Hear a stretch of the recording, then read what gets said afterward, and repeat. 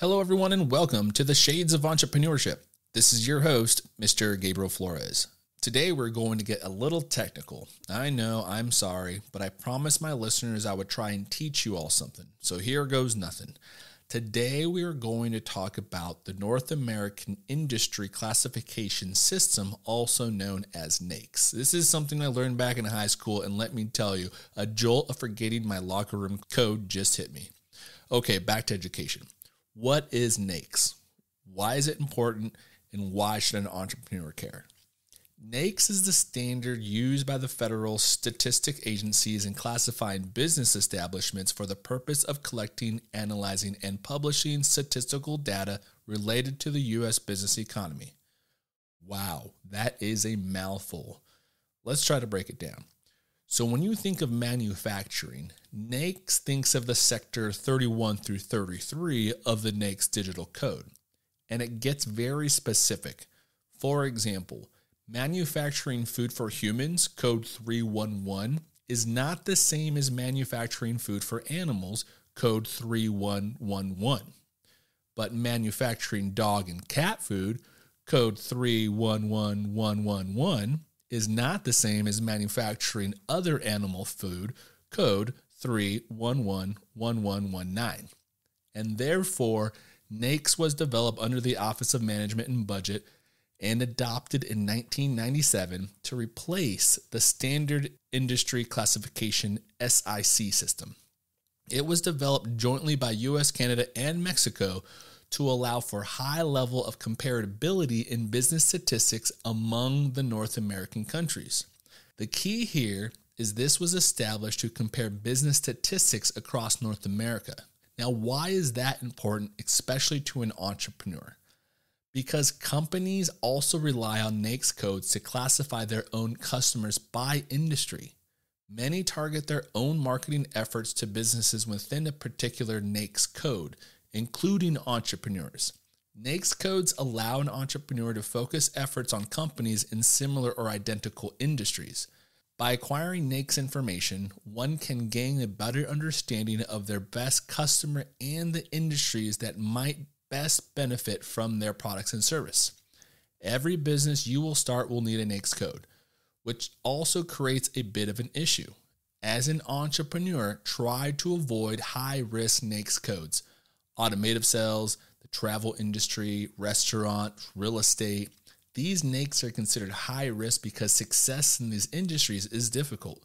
There are also high risk industries that are subject to stricter underwriting guidelines, such as computer and software related services, general contractors, gasoline stations, and convenience stores, to name a few. Choosing the incorrect NAICS code could also end up costing the business money, but there are some benefits federal contracts for small business administration certified businesses, incentive plans and tax incentives to various industries, lending services.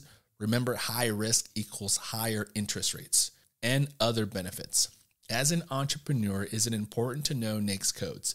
It will help understand the market you plan to enter, who the competitors may be in the industry, and other important insight. So, what are you waiting for? Grab yourself a glass of something to drink, pull up a chair, and start searching the NAICS database in an industry that you are interested in. Who knows? It may help spur the next entrepreneurial idea.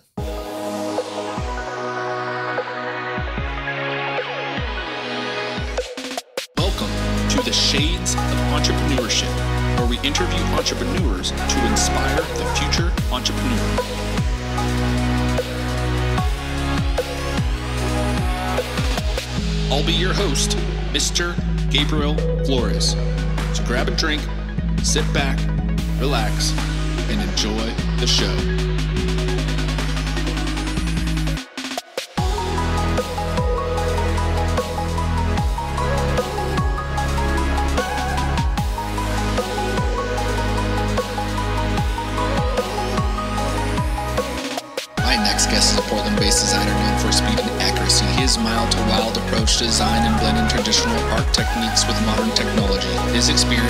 Graphics to accessories, apparel, footwear, and color design. He is a father, a designer, and the founder of Burnside Knives. Please welcome Rick Maderis.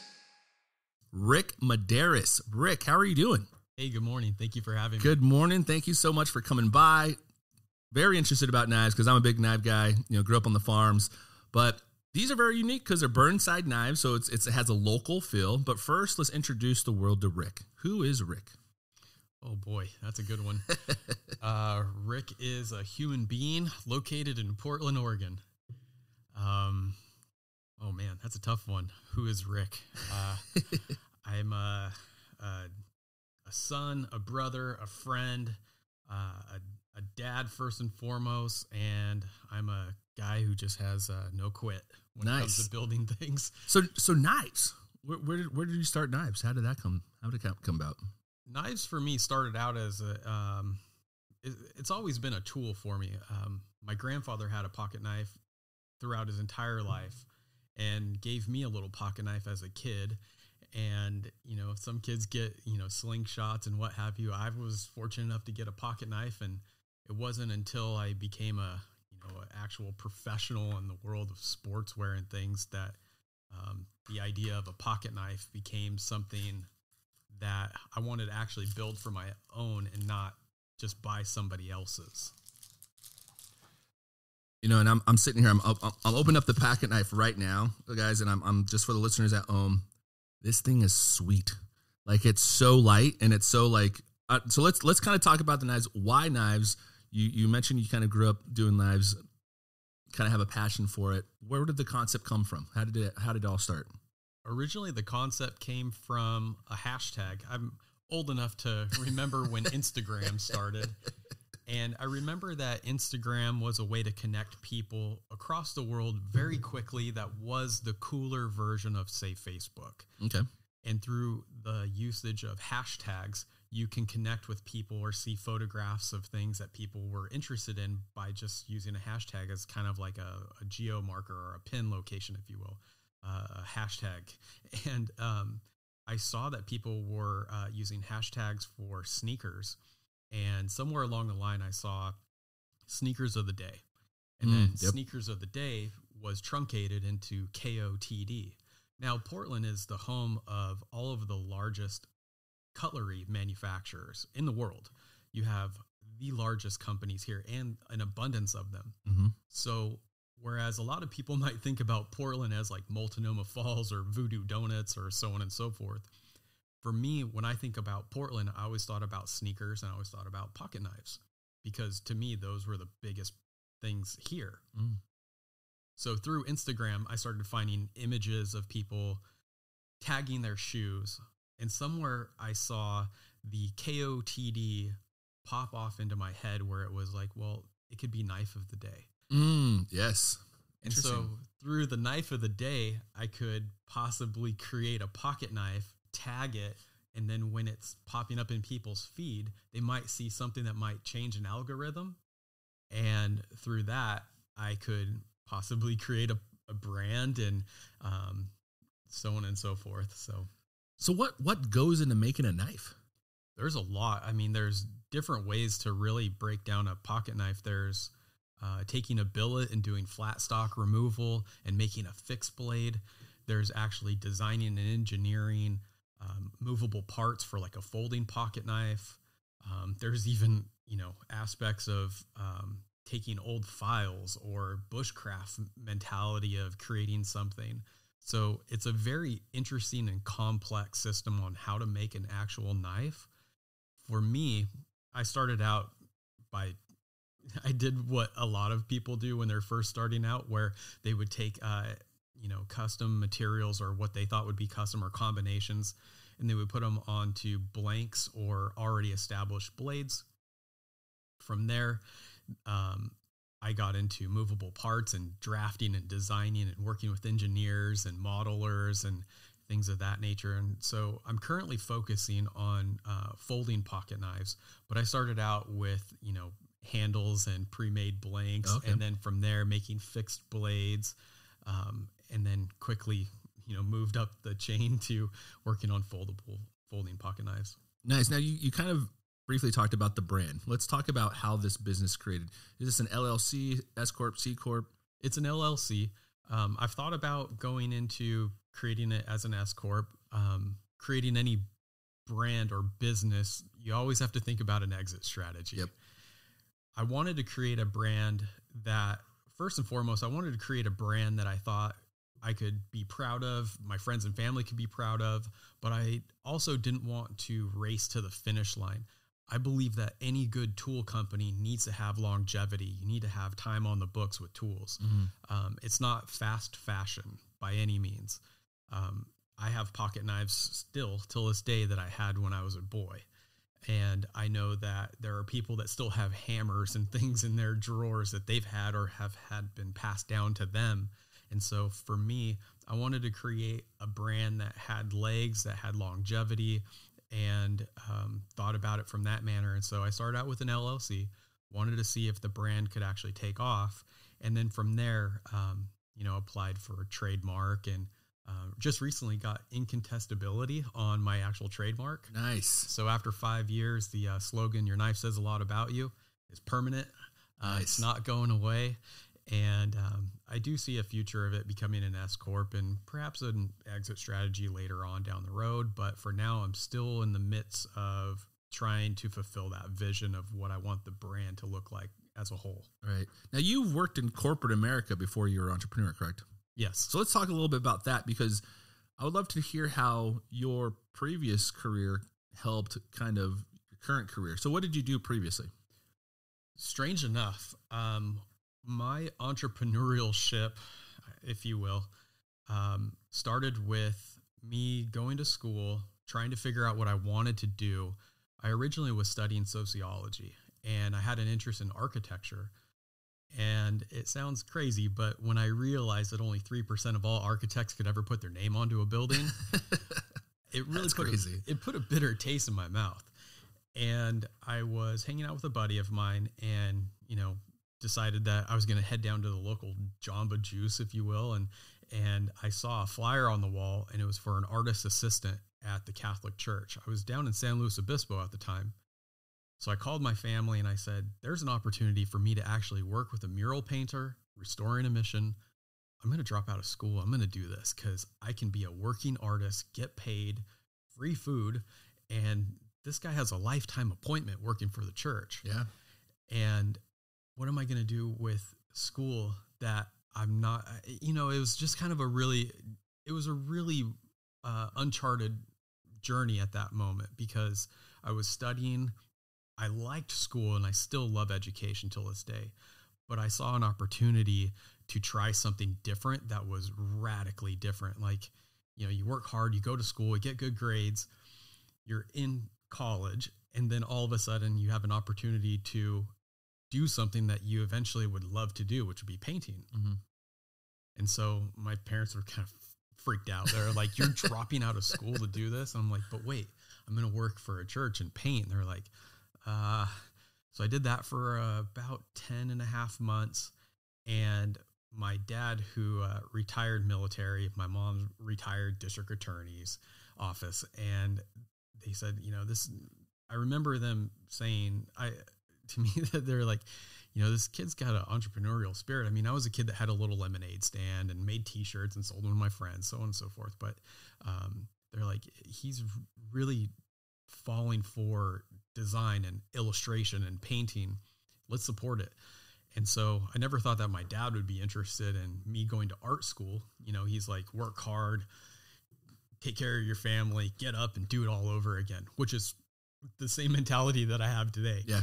Um, but where things kind of changed course a little bit was, hey, why don't you think about going back to school? You can do this, but you should really get an education. And I thought he was right. And so he brought up the idea of graphic design. And so I know we talk about, you know, how was your career and what have you, but that career started dropping out of college, working for a church, restoring a mission, taking that money and actually paying for art school. So from there, did my internship with a fantastic agency in the city called Nemo Design. And then afterwards, I got into screen printing. So I moved back to California. I'm originally from Hollister, California. Yep. Grew up on a cattle ranch, very agricultural based, and um, went back to California, got into uh, screen printing, applied for a job at New Era baseball hats Oh, nice.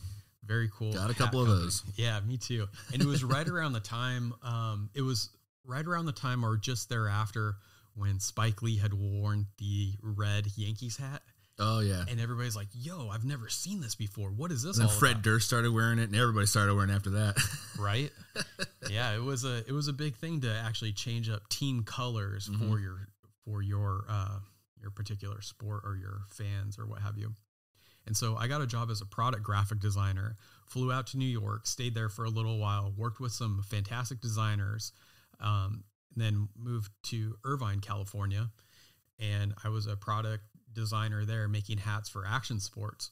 I did that for a couple of years, and that's where the aperture really opened up because I was doing graphics and headwear and things like that. I had a screen printing background, had earned a degree in graphic design from the Art Institute. And when I got a chance to meet people in the uh, action sports and streetwear world, it really changed the course of my life. Without New Era, I don't know if I would even be in the position I was at today. Meeting so many different people that had so many entrepreneurial spirits that they worked in these big companies, but they also had their own brands. So after a couple of years of doing that, I um, was offered a job at O'Neill, which is a surf company, Mhm. and I was a senior graphic designer there. I did that for a very short amount of time. Having grown up in Hollister, Santa Cruz isn't far away, but I was down in Irvine, and the clothing brand and what I knew of the brand growing up, being you know in the South Bay area, seemed very indifferent. Um, for me, it was a fantastic opportunity, but it just wasn't really the vibe that I wanted. Gotcha. So I stepped out of there and opened up a little small studio where I was just a freelancer. I took on a gig as an art director for a small brand, which then we sold to Body Glove. Um, got a chance to work with uh, Travis Barker and his famous Stars and Straps brand as a as a freelancer and then as a designer on his team and got to work with a beer company called Hinano. And so I was just hustling after I had left. So I felt kind of as though I went through having all of the grooming to become a professional graphic designer, but I wanted to do something besides what I saw all my peers doing. And so I went for the big moonshots every time like I'd apply for these jobs. Shoot, I think I had maybe four or five interviews with Nike and they're like, you have too much experience in all these different areas. We need a specialist. Mm. And I had applied for a job at Adidas while I had my little design studio. And they hired me on the idea that I could do a lot of different things. I could do tech packs and illustration, I could draft, so on and so forth. And along that, you know, journey, I was able to really find something that I thought was kind of fun and I give a lot of praise to my grandparents and my parents and family and friends was storytelling. Mm. Because the storytelling aspect was really the heart and soul of being able to create a product. You can have a cool baseball hat, but if you change the color and can tell a reason why, it does something more, right? Yeah, that's a great point. And so, um, from creating, I don't know, like all these different offerings for these different companies, um, I landed at Adidas, and that was when I just fell in love with sneakers and fell in love with the idea of a merchandising plan and creating inline initiatives and city packs and so on and so forth. And I really wanted to do something more. I was a graphic designer working on apparel and t-shirts and footwear and um, for me it was it was great, but I really wanted to get into footwear. And I didn't get a chance to because we already had everybody on the team that could do that. And so I thought to myself, well, I want to create something for myself that it wasn't like a weird like god or a hero complex.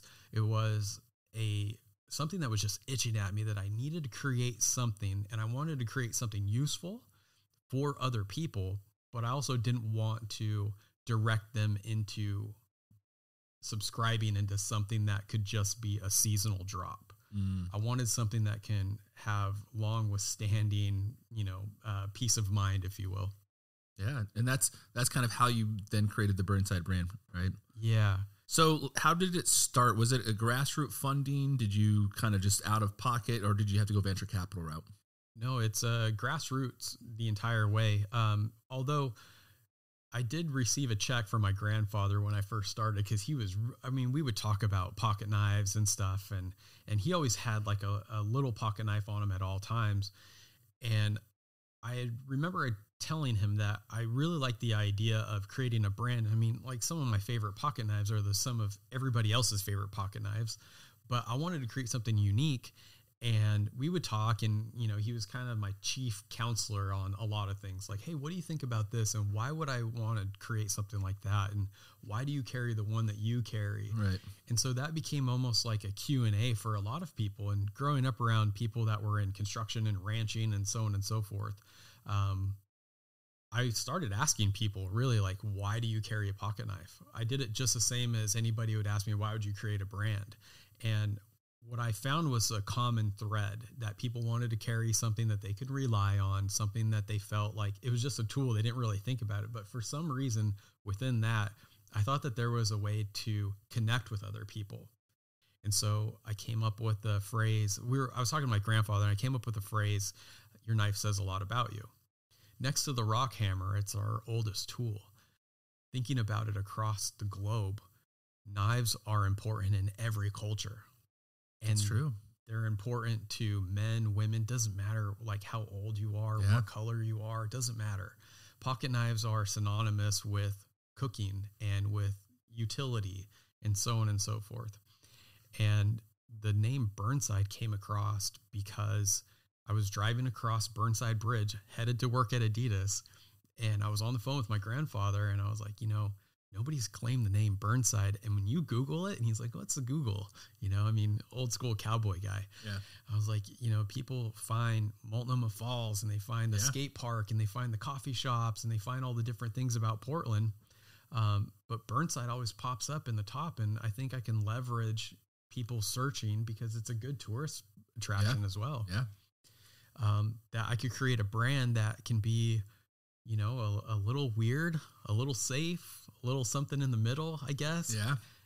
Adventure outdoors meets, you know, everybody else. That's Portland in a nutshell right there. you know, it really is. And it has such a diverse collection of personalities and types of people. But at the end of the day, everybody loves the outdoors. Doesn't matter if you're a fashionista or you're a hardcore adventurist. We all love the outdoors and we all want to take care of it. And we all need tools when we're doing these things. And so I wanted to create a brand that I thought could do that. And funny enough as it is, Burnside was the first street that brought east to west for commerce in the city. It was originally yeah. like B Street. Yep. For me, I thought about it in the aspect of east to west globally. Mm. The mentality of like learning something from somebody else or contributing back to a greater meal, if you will. Yeah.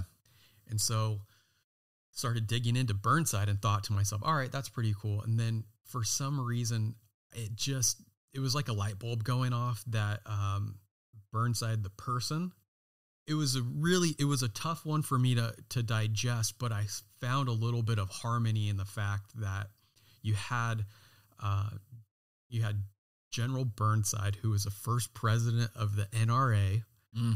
but also fought to free slaves that's an unlikely comment you never think about. but right. it's good to know.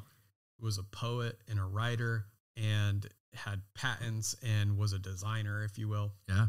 And so for me, I was thinking, okay, well, I love all these aspects of Portland and its uniqueness. Right. But then here's this other little egg or this little Easter egg, if you will. And I was like, well, okay, so on one aspect, I can actually fulfill the idea of your knife says a lot about you with people that are into different things. But then on the same side of it, I can focus this towards taking a narrative that, I mean, I'll just be straight up with you. I'm not really into the things that are fed to us, and gun violence is a really horrible thing in the world. Right. I'm not a I would proponent agree. of it. Yeah. I mean, offline, I have my own opinions about a lot of this stuff.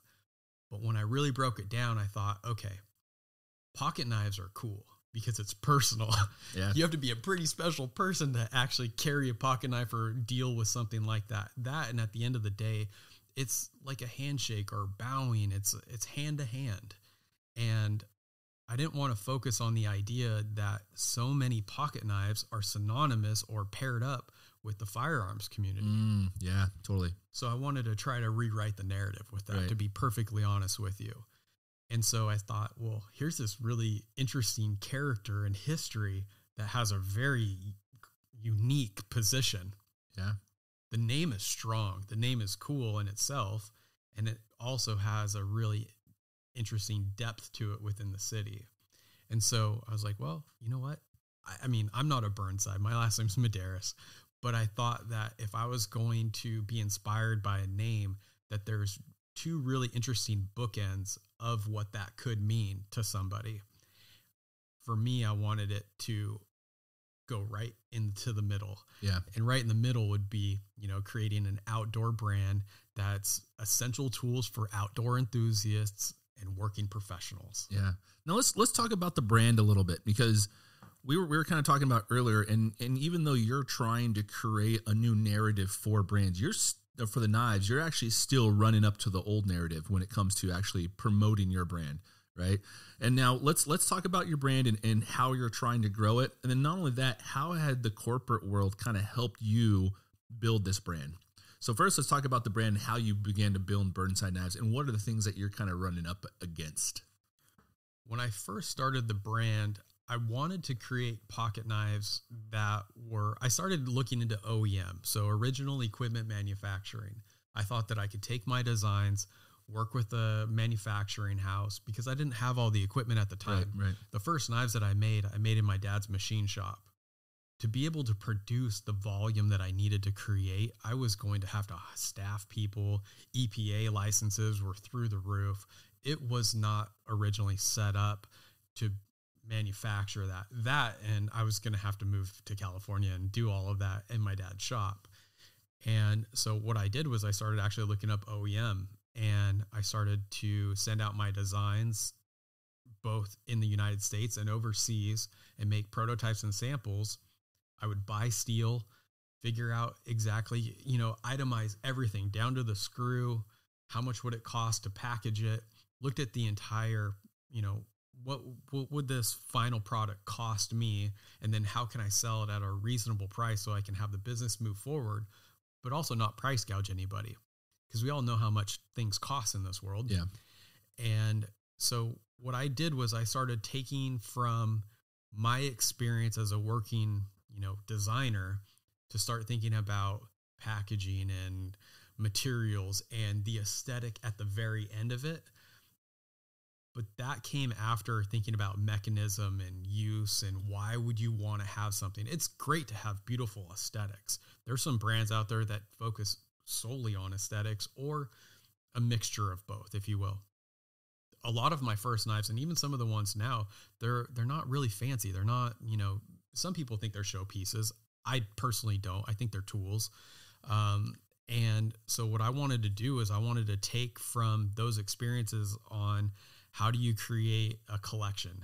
What does it look like from the top down as your, you know, star on the Christmas tree or, or high price point item? And then what would be your most budgeted piece that still can fit within the entire offering that people can say like, well, I can't afford the Ferrari, but I'm super happy with the truck. Right, right. And now, you, one of the things you mentioned too, um, because knives are kind of synonymous with weapons, right? Yeah. Sadly, branding, you kind of run into some issues with that, correct? I do, yeah. Unfortunately, because of the way that people abuse tools and honestly, they abuse one another and the way honestly we treat one another Yeah. holistically, Sadly, yes. it's terrible. Um, knives are considered weapons. I've always thought about them as tools. Where I run into issues with this is that I can't advertise this brand on social media, specifically through Instagram and Facebook, which are humongous platforms Yeah. for shopping. Yep.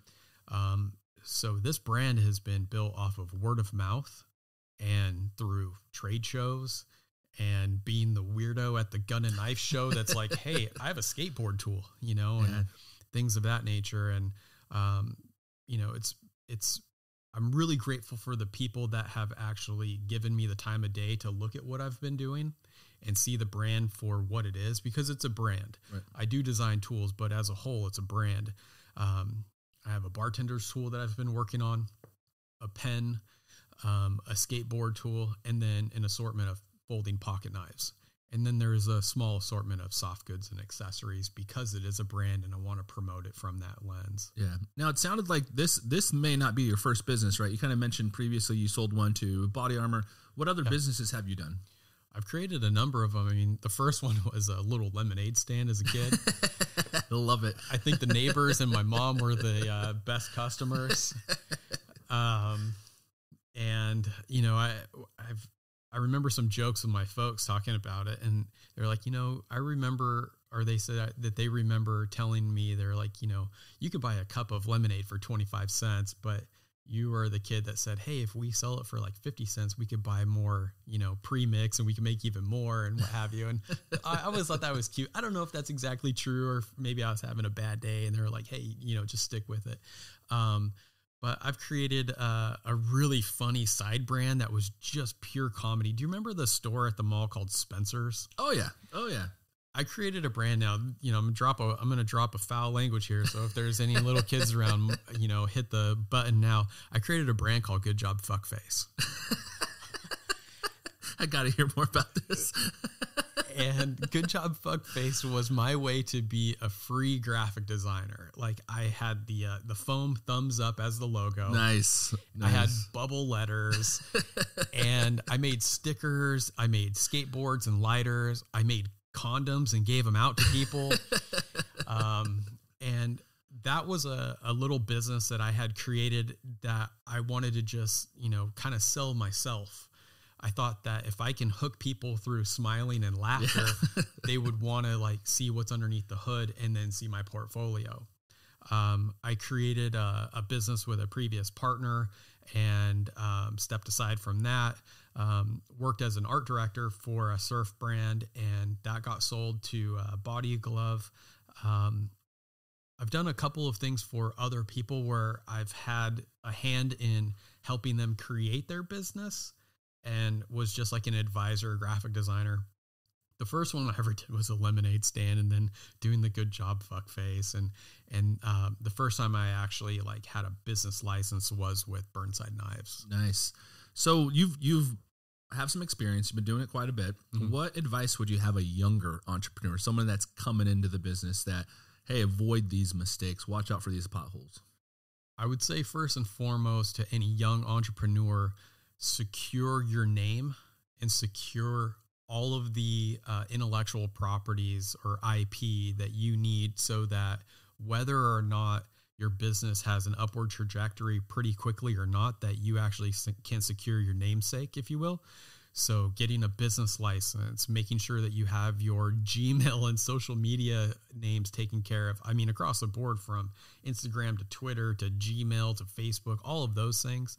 Um, and then also to a young entrepreneur, you're going to have highs and lows. And those moments where you feel like you might quit or that it's just too much, or after the highs and lows of, you know, the popularity kind of simmers out, stick with it because that's probably when the magic is about to happen. Yeah. You hear that a lot with people, but it's very true. And I know that from my own experience. I wanted to quit, you know, three times already this morning. yeah. You know, and and I realized that I've had a lot of experiences like that that have then turned into fantastic conversations, new connections, new ideas, but they still focus back on the original intent. But really knowing, you know, is this a passion project? Is this something that is just about you and an art experiment? Or is this an actual business? And knowing that up front is the biggest thing. And that's why I didn't name it Rick's Knife Company. Yeah.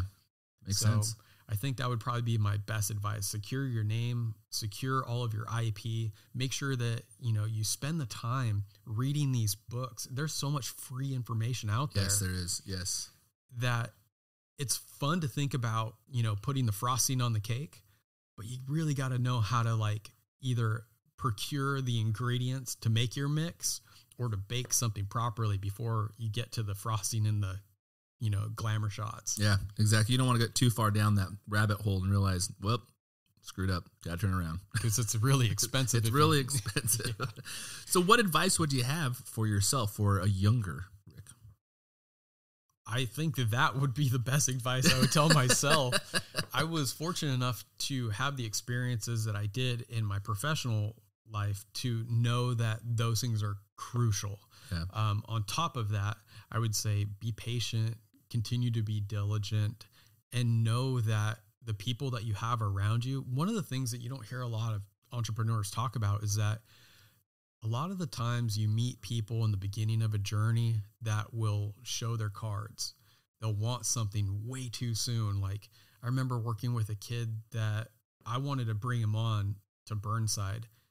Wanted market share up front, wanted like uh, he wanted like stake in it. I'm like, dude, I don't even have shares. Right. You know, it's like wanted like a percentage of sales. And I'm like, I'm gonna pay you like an independent contractor because that's I mean, I'm still doing that for myself. Right. Right.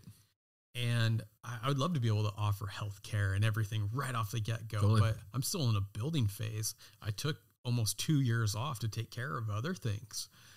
And knowing that separating, if you will, church and state, your family time versus business time is very, very important. Being able to separate the idea that this is what I'm going to do from nine to five, and at that lunch hour or every couple of hours, I need to be conscious about taking a water break or turning off the phone and being present. And those are really important things that I don't think a lot of people address because being an entrepreneur, the clock doesn't stop. And you will wake up depending on where you're manufacturing. I mean, I manufacture all over the world. Nobody is going to stay up and wait for my email. Yeah.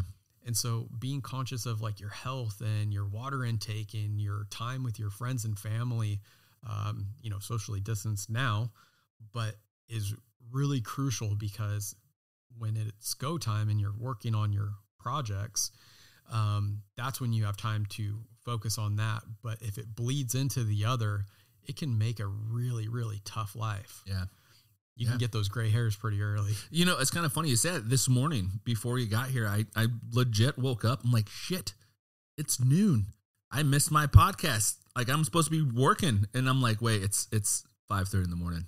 But that's what you do as an entrepreneur is you kind of wake up because a lot of these tasks that go undone, you're the only one it. Yeah, I'm the one doing it. I got to I got to do it. If I if it if I don't do it, it doesn't get done. Right. Kind of thing. Right. And one of the things you hear often is the loneliness sometimes of being an entrepreneur. What would you say is the hardest part about starting the business? I would say the loneliness is hard.